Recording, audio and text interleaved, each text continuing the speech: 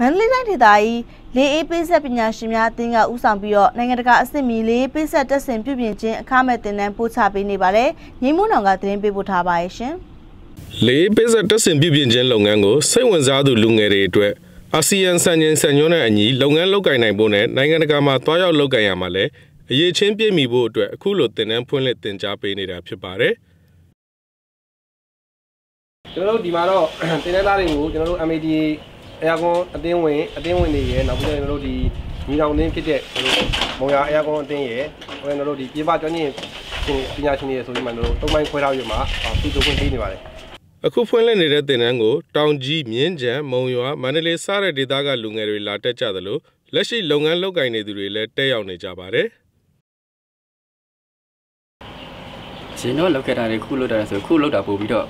business လဲကြတယ်ပို့ပြီးတော့ရှေ့တွေးလဲကောင်းမွန်လာတယ်ပေါ့လို့မျိုး ဟုတ်ကဲ့တင်နန်းပြီးသွားရင်ရောဘယ်လိုဖြစ်မယ်လို့ပြောလဲထားလဲတင်နန်းပြီးသွားရင်ကျွန်တော်အကောင်းဆုံး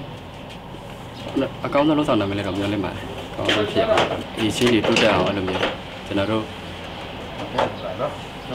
အချိန်မှာဆရာဆရာသမားကောင်းဖြစ်အောင်လို့မျိုးတိုက်တွန်းတဲ့အတွက်ဒီဒီဒီနေ့တက်ဖြစ်တာပါမန္တလေးတိုင်းဒေသကြီးလေးပိစက်ပညာရှင်များအသင်းအနေနဲ့အရေးချင်းပြည့်မီတဲ့လုပ်သားတွေထွက်ပေါ်လာရေးနဲ့အလောက်ကန်ရရှိစေရေးအတွက်ရည်ရွယ်ပြီးအခုတင်နန်းကိုဖွင့်လှစ်တာဖြစ်ပါတယ်။ တင်နန်းတက်လို့သူတွေအနေနဲ့ဖုန်းနံပါတ်39 23298985ကိုဆက်သွယ်စုံစမ်းနိုင်ပါတယ်။ကျွန်တော်ငိမ့်မိုးအောင်ပါ။